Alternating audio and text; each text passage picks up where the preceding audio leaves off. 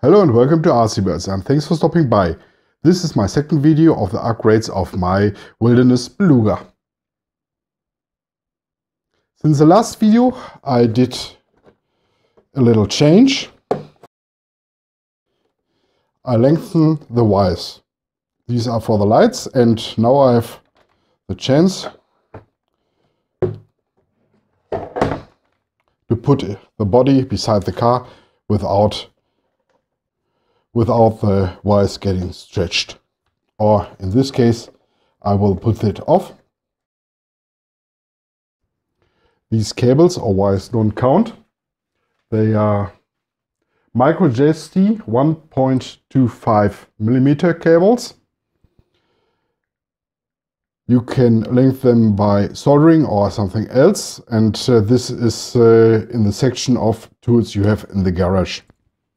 So I don't count them on the upgrades. As I said in my last video, I will upgrade this in two versions. A fun version or a performance version. Or combined as a fun performance version. We come to it later. And in this video I do the upgrades which are for both versions and uh, we start with the wheels and then go on with the light setup, which I thought about.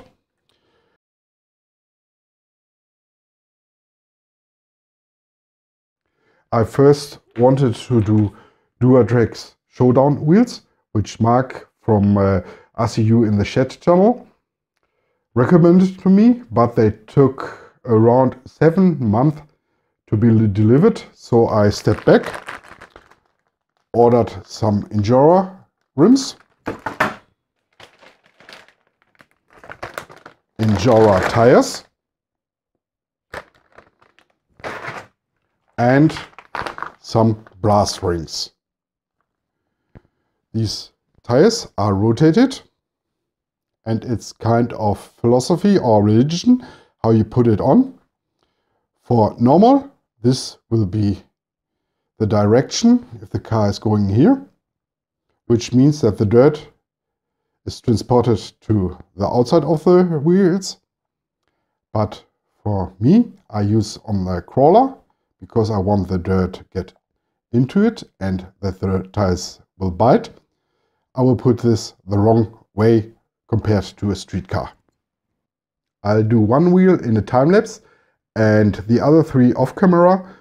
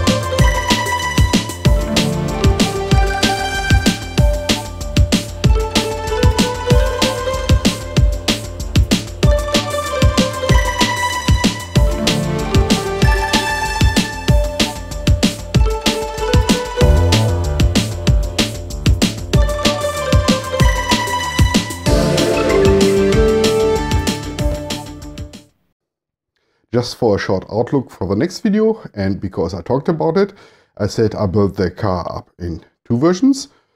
Each version will be under 600 euros. The fun version would get a 35 T motor from Injora and this ESS double. And the performance version gets this QuicRun Fusion SE motor. Both cars, the fun version, the performance version, stay under 600, but with a little bit more investment, and which I will build is a 700 version with a sound module and the QuicRun motor. So thank you for watching. If you got some questions, the comment section is yours. And as always, please like, share and subscribe. This will really help me out. See you soon on RC Birds.